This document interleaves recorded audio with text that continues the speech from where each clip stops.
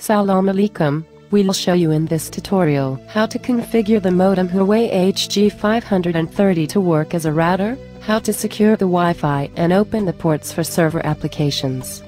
Please be attentive, it is very easy. Thank you. In this first part, we will show you how to configure the modem as a router. Type the following IP 192.168.1.1 in the address bar of your browser and press enter key. You type here username, admin, password, C6C8. If the password is different, you can find it on the back label of your modem. Click OK button.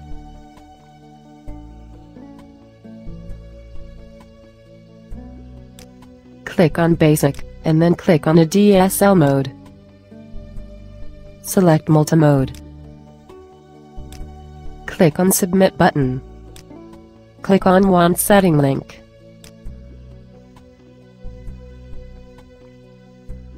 Select the PVC you want to configure. You enter here, the VPI and VCI of your internet provider. In our case, our provider is an ICE Plus, VPI, 0 VCI, 38. Select routing mode and protocol over Ethernet encapsulation. Type here the username and password for internet connection provided by your provider. Beware of errors. Finally, click on Submit button to save changes. In the second part, we will show you how to enable or disable and properly protect your Wi-Fi. Click on Wireless LAN.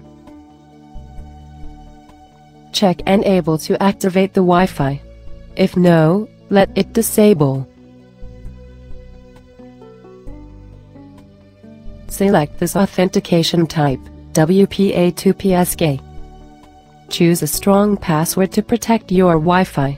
It's better if it is composed of letters, numbers and special characters.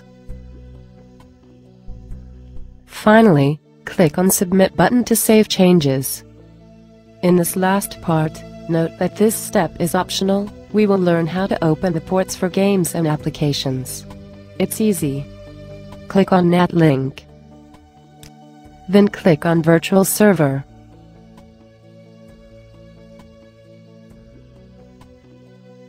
Type here, the name of your application or your game.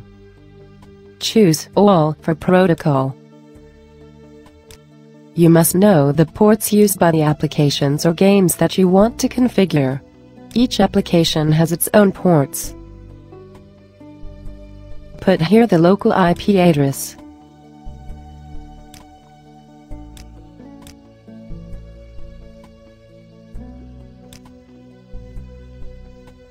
Finally, click on Submit button to save changes. We arrive at the end of this tutorial. We are making great efforts to help you. So make a small effort by commenting this tutorial and promote our website www.mediaket.net. Regards.